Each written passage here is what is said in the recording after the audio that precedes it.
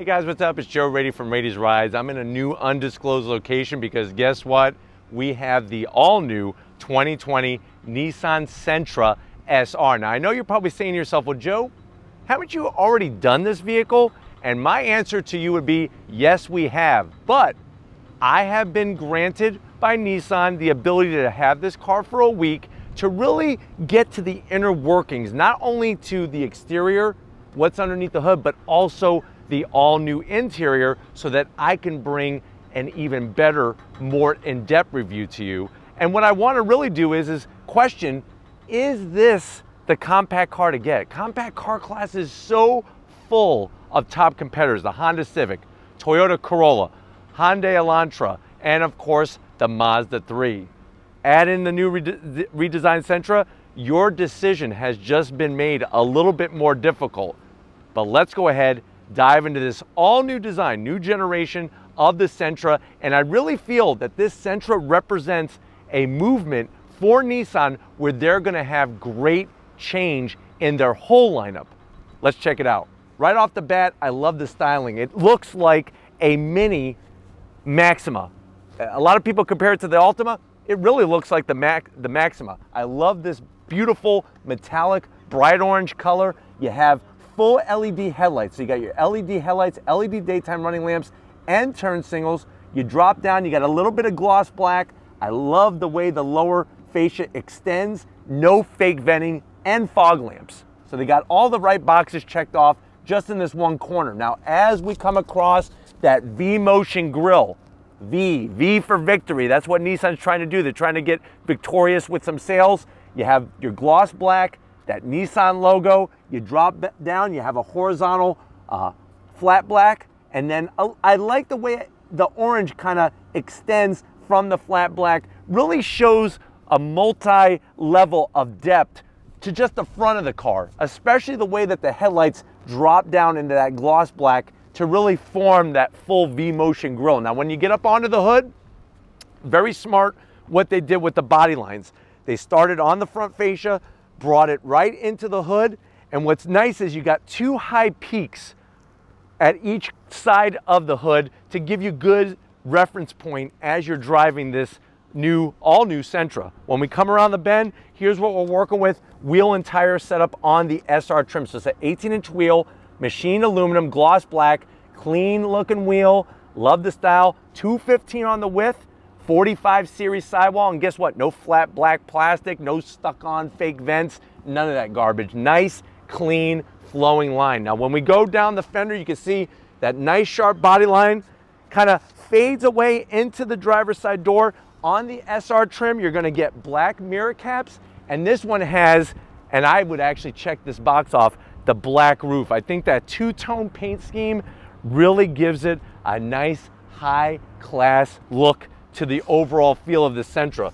Little bit of chrome trim just on the bottom and I like the way it kind of hockey sticks into the back portion here. Color matched on the door handles, a nice attractive looking side sill. We get to the back and here's where it curves up into that floating roof design. So Nissan really with the Maxima brought out that floating roof design very, very well with the way the re rear pillar and the roof line is, is set up. And I love the way it actually comes to a nice point here instead of following deeper into the rear fender. And then when we get to the tail end of the business, all new taillight design. So like I said, SR trim, that's that top trim, very, very clean on the design of the taillights. Now you do have this faux fake vent, which I am gonna zonk, but other than that, the rear diffuser looks phenomenal. One exhaust pipe, nice slash cut, looks clean. You got a trunk lid spoiler that kind of extends up and out and really gives it a nice look. But why don't we go ahead, pop the hood and see what's happening on the new Sentra. All right, guys, we got the hood pop. You do have a prop rod, but the good news is it's all the way over to the passenger side. Underneath the hood, no plastic covers or anything like that. What are we looking at? You're looking at a naturally aspirated two liter inline four engine, pumps out 149 horsepower, 145 pound-feet of torque. That's actually more horsepower than the previous generation. The one area of debate is there's just one engine uh, choice. There's just one engine choice and one transmission choice. Only a CVT and only this two liter. As of right now, Nissan has not said anything about a turbocharged inline four or bringing back the manual transmission. Mission. But this one, like I said, made it to a CVT. 0 to 60, you're not going to blow anybody's doors off, is 9 seconds. It does weigh 3,084 pounds. The great news is maximum MPGs, 29 in the city, 39 on the highway. And like I said, going up against the other competitors are really going to um, make this, I think, a choice in that compact car segment for people that they don't want different engine options. They don't want a turbocharged engine. They just want something that looks really nice, gets some great MPGs. This might be the one for you. But let's get to the all new interior and see the changes Nissan has made. All right, guys, we're inside the all new Nissan Sentra SR trim. I know you're wondering, Joe, what's the price of this? It's got to be pricey since this is all new. You're looking at MSRP right around $21,440. I think you're gonna find you get a lot for the money. Let's go to the door panels. Now you have wonderful soft material. I love the orange contrast stitching. It really works with this particular color. A little bit of faux carbon fiber and silver. It's tasteful. The armrests are nice and soft. You do have a small door pocket where you could probably get a Whopper, maybe a Whopper Junior. This one has the optional Bose sound system. And I wanna show you in the corner of the top of the door panel, that little rectangle there, that is your blind spot monitoring that lights up on the interior. I like touches like that. When you get to the dash, this is where they blow it out of the water. The stitching is great, nice soft material. You come to the center, this is very Mercedes-Benz-esque. You do have an iPad style infotainment system screen. This is an 8 inch screen, but the great news is, is you got Apple CarPlay, Android Auto. We'll go to our menu. You do have, of course, touchscreen capability, which is great. We'll go back. You got your cameras, which we can look out the um, back and front of the vehicle. So you do have trajectory. We have 360 degree, which is great. You come back and there's your uh, 90s on 9. I'm going to go 80s on 8. But I'll drop it down. The stitch work is great. You do have dual climate, heated seats, but no ventilated seats. I wish that they would do ventilated seats. Heated steering wheel, though, is great. Keep dropping down. Look at the connectivity. USB-C, aux jack, USB, and a 12 volt. Nice large cubby where you could have your Twinkies just laying here, ready to go. Tasteful start stop button. The way that they did this is very, very tasteful. I like the nice soft touch material. This is going to control that CVT transmission. Two cup holders, a little tiny cubby for some atomic fireballs, and still the stitch work. I mean, they took it everywhere and they did it spot on. You pick this up, you could actually fill this up with soda and put a straw in it and just drink right out of it. That's how large it is. You can take a couple big gulps and then just suck right out of there. Seats, phenomenal. These are those zero gravity seats. Love the design, the stitch work, very, very comfortable. Now, you do have your manual seat controls for the passenger, but you do get power for the driver. But the zero gravity makes them so comfy, it's ridiculous. I love the lighter headliner color in here, makes it a little nice and bright and airy, and you do get a standard sunroof on the SR trim. But why don't you come over to the business end? I want to show you behind the wheel of this all new Sentra.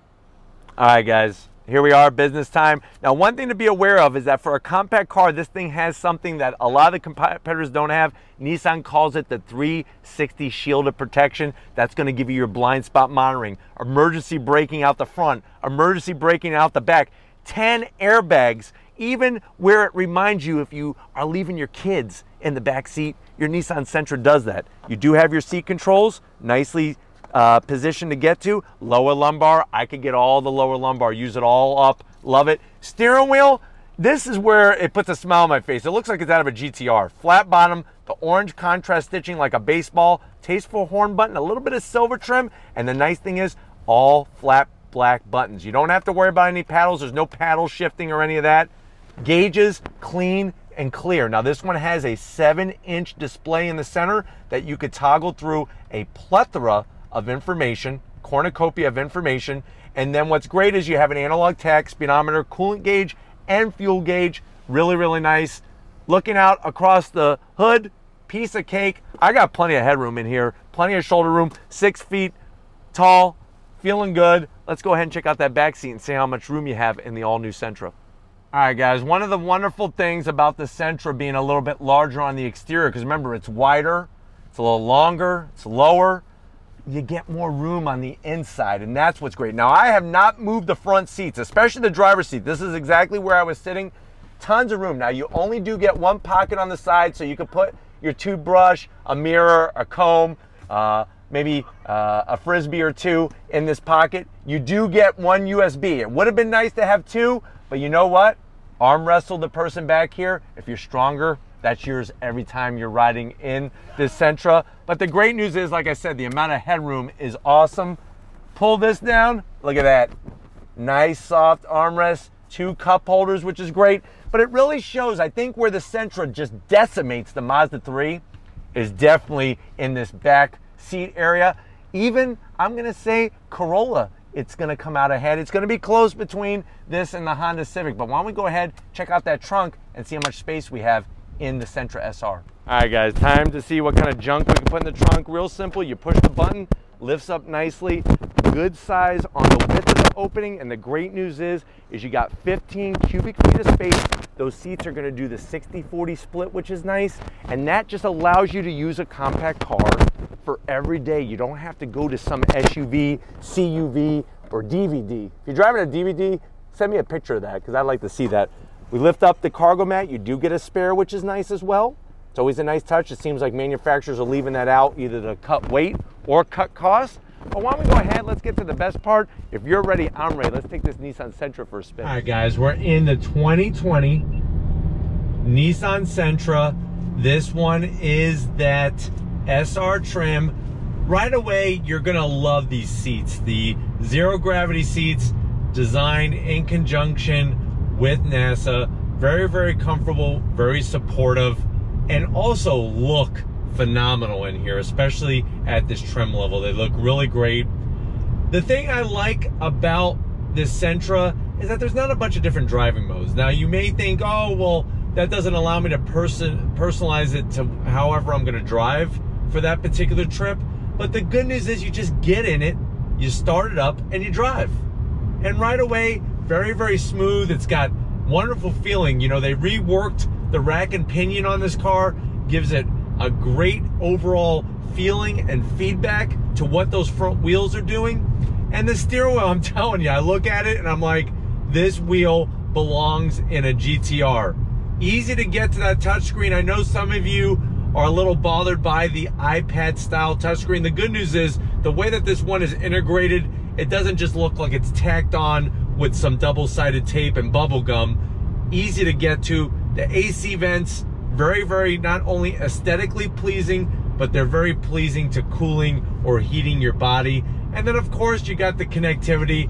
Some of the things I'm missing, I am missing wireless charging. I wish that they would have had that in here. And I am missing navigation as well. But with the Apple CarPlay or Android Auto, you're able to utilize your phone very, very easily for those um, different services. The dash, that 7-inch digital display gives you all the information. The tach and the speedometer nicely laid out. I just wish there was a little bit more horsepower. If it had a turbocharged engine, sign me up. That would be fantastic, and especially a manual. But for somebody, like I said, you're looking at those compact car competitors and you want something that is going to be obviously good on the MPG return, but also have that look that just you stand out from the crowd. This car has it tenfold. Everywhere I touch, the soft material is great. And that's where I really think that they hit a home run with this uh, with the Sentra is not only the aesthetics of the exterior, but what they did to the interior. Visibility out the back is clear. Side mirrors are great. You got that safeguard protection gonna make sure you arrive alive every single time. That's what makes this a wonderful car to drive. GoPro, stop recording. All right, guys, pulling away from the light. Nice throttle sensitivity. I'm gonna change lanes here, show off the handling a little bit on throttle. Handles great. You do have that CVT. It does have simulated gears, but the way that the simulated gears are coming into play, it still has a very high RPM sound to the engine, typical of this setup, but the steering is really spot on the money. I really do love the steering in this um, Sentra SR. It, it really feels nice. It's got a good weight to it, and it's not really loose. It's nice and tight and gives you a direct contact to what's going on the front of the car back on throttle. through these twisty little sections here. Nice and controlled, very composed. The chassis, the work they did to the setup of the suspension really shows very, very well as you're going through some twisty sections uh, of road or dodging cars um, that are in your way, so to speak.